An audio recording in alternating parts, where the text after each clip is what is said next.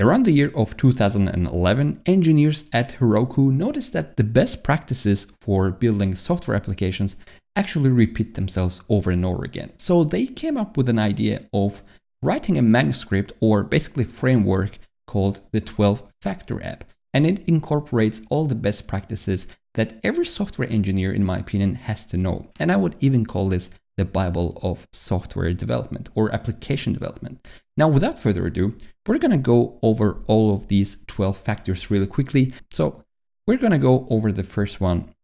And I have to point out that this was developed many years ago, but most of the points are still intact, meaning they're still basically the baseline of software development. But funny enough, the very first point called code base, which says one code base tracked in revision control many deploys, is probably the most outdated ones because this first one was basically defined when we didn't have Git or GitLab, GitHub so much widespread as we have it now. So basically this one says that you need to have a code base to keep your code, okay? Now, of course, we have evolved since then.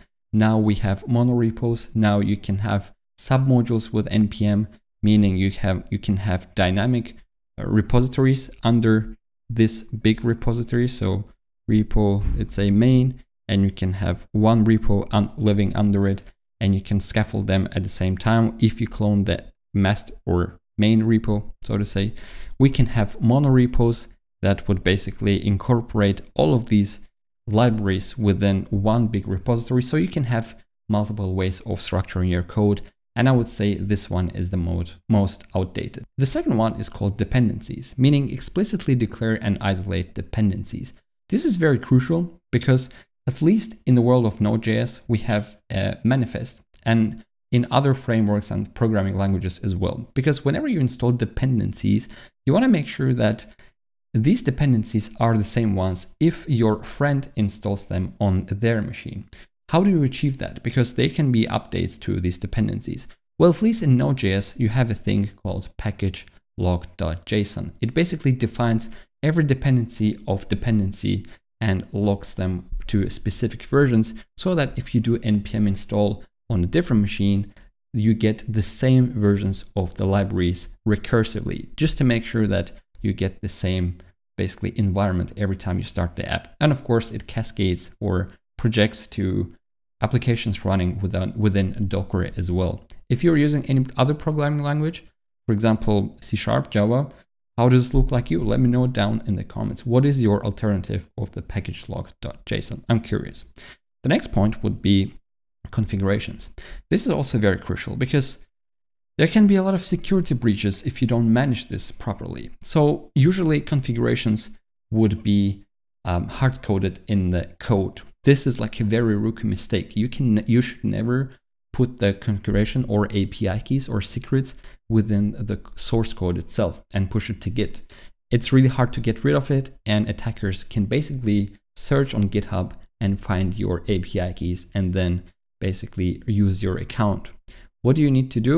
Well, there is one way. You can, of course, create an environment variable, put it to git ignore, make sure that it doesn't end up on Git.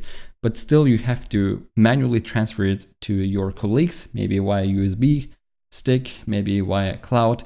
But nowadays, there are even better alternatives. For example, uh, there are third-party companies that can manage the secrets. So you basically, you're gonna call their API, authenticate yourself, and then gonna retrieve all the secrets can be done also during the CI pipelines or AWS also has its own secret manager. And basically this is another way of making sure yet that your config, config files are secure. Another point is backend services. This one is interesting. So it says treat backend services as attached resources. What does it mean? So let's say you have a node server, okay, or service rather, and it is connected to a database okay, we're gonna say that this is a data uh, SQL database. Okay, this is a database and we have a connection here.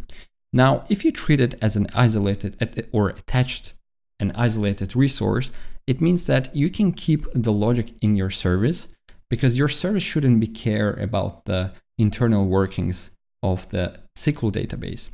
And what we can do is if in case if there's an error or this SQL database is malfunctioning, we can literally spawn a new SQL database and simply repoint this connection. Oops, this is redundant. I'm going to take this one and instead of pointing it to this one, I'm going to point it to the new one and I'm going to delete this one and we're done. Okay, we're simply going to point to a new database and we have to make sure that everything works intact. So this is what the fourth uh, factor is telling us about. Next one is called build, release, and run. What does this mean? It simply means that you should strictly separate all these stages. So in your pipelines, in your CI pipelines, you need to have a build, you need to have a release pipeline or release stage, and you need to start the application actually or the service. Now, nowadays, build and release can actually be done in the same stage, but running should be um, auxiliary or uh, detached from the build and release. Why are we even talking about this? Why not do everything on, on the same stage? Well, imagine the, um, the running of the application didn't run for some reason. Maybe there was an outage. Well, we can take this image because building and releasing will create an artifact. What do we mean by artifact? Well, in the world of software development, artifact is basically some produced file. For example, if we build our Node app and then make a release of the, this Node app, what we are usually gonna get in and nowadays is a Docker image. Okay, if we're using containerized images, we're gonna get a Docker image with a specific version of this app, our app within it. If you don't use Docker, we're simply gonna get an executable, or we can get a um, a, a folder. Okay, it's still an artifact. And then let's say if we didn't manage to run it for because our cloud provider just failed to run it, we can take this artifact and re reuse it we can run it. Okay, this, this run didn't work. Forget about it. Okay, this didn't work. We can simply take it and run it again, literally one minute later. Okay, this is important. Another one, processes. Execute the app as one or more stateless processes. And this is directly connected to the point of to, to the topic of horizontal scaling. I even have a video on horizontal scaling, so go check it out. It's going to be in the description below. What is basically saying that if you have nodes, multiple nodes, and if you have too much pressure, you need to make sure that you can horizontal scale, meaning uh, execute the app in one or uh, many stateless processes. And the keyword here is stateless, because when you try to horizontally scale, you need to make sure that these scaled instances basically are going to be copies of the same app. They don't have uh, any st state machine inside because you don't want to replicate the, the, the state or the database. Let's say this is a, con- a Docker container. You always want to make sure, because this is a best practice, that you have one place where the state lives, which is going to be a database. Okay. And if you scale your services to three or 10 instances, they're all going to take the data from this one database. Can also be two if you scale your database. It's another topic, but basically separate the processes and make sure that they're stateless. Go check out this video. I think I'm going good. I'm going a bit deeper on this video. Next point is going to be port binding. This one is very simple. Apparently back then, port binding, okay, it was not new, but it wasn't so obvious that your service doesn't have to care about the requirements whoever's using this service. Let's say we are a web server and the web server wants port 80 okay, from the app that lives within. Now, what this uh, factor is saying that you don't have to expose port 80 from your app. You can expose any any port, let's say 4200. But whenever we're hitting your container, you can set up a port forwarding here, basically on this layer. That's going to bind port 80, which the client needs, to port 400 and then reroute the request that way, meaning your service actually don't have to care, doesn't have to take care of the port binding. It has to be done in a different resource. Okay, next point is called concurrency. And this is pretty much the same as the sixth one. There are slight differences, but since this has been done many years ago, there were some deviations, but you can treat it as the same thing. Next one is disposability, which, which says maximize robustness with fast startup and graceful shutdown. What does it mean for us? So whenever we're starting the app, and obviously we're going to have some dependencies. We're going to depend on this service. We're going to be dependent on this service. After your main app has started, make some health checks. Basically call one of the health checks API um, endpoints of this microservice and call uh, this microservice to make sure that your dependencies are up and running again as well. For example, in Kubernetes, you can easily set this up to make sure that you have some dependencies. And also don't forget about graceful shutdown. I'm to make a video about proper graceful shutdown in the world of Node.js. So if you're a JavaScript developer, definitely subscribe because this is to be interesting.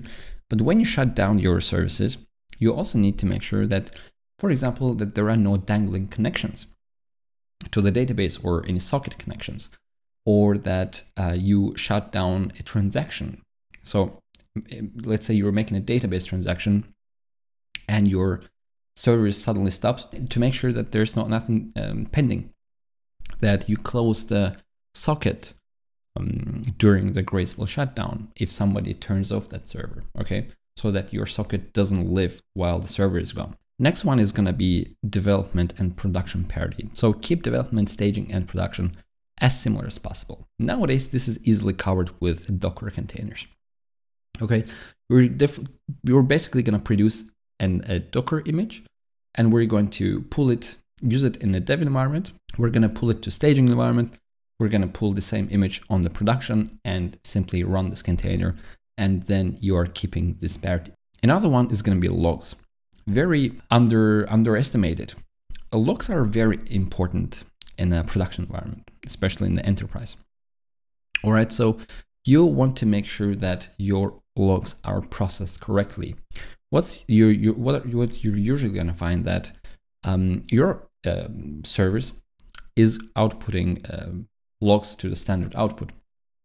So let's say we have this service that's responsible for one part of the application and uh, basically three different parts of the application and they produce different logs okay they produce different logs but how can we as a developer go and debug stuff if we need to are we also actually going to go to three different services and try to look at the logs?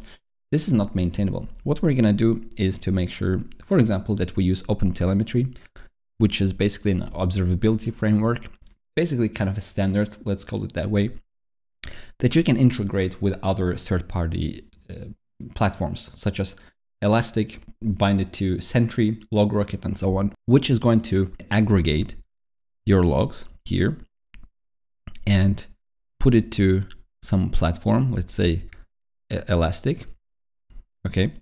And then you can easily search, or CloudWatch from Amazon, you can easily search for the logs and filter them by date, by name, and so on. And you can uh, debug your applications much easily. And the last one, admin, oops, actually opened it, admin processes. Running admin management task as one of processes, not really relevant anymore. We're not logging into our um, service and not starting the apps. Everything's done more or less automatically as long as software is installed, such as Docker Engine, Kubernetes, and so on. All right, guys, I think I hope this was useful. If you think this was an interesting video, thumbs up, and I'll see you guys in the next one.